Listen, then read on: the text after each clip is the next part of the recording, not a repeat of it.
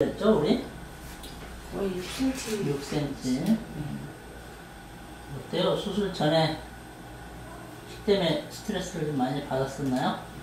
네 좀 받았었어요 음, 지금 어때요? 하고 나서 네, 어, 더 좋아져 자신감 생겨서 좋아졌어요 정말 힘들고 그 상당히 막 오랜 시간을 투자해서 이 수술을 했는데 네.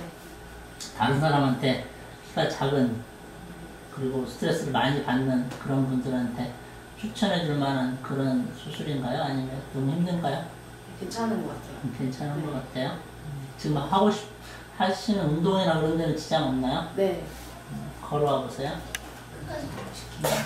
뒤돌아 가보고.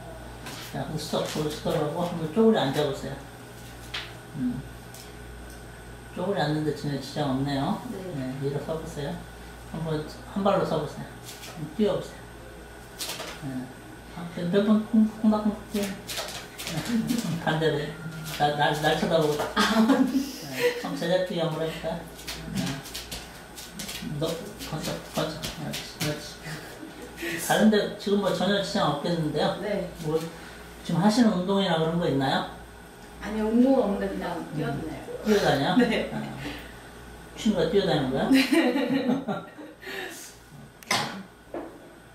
다른 우리가 수술 받은 사람한테 네.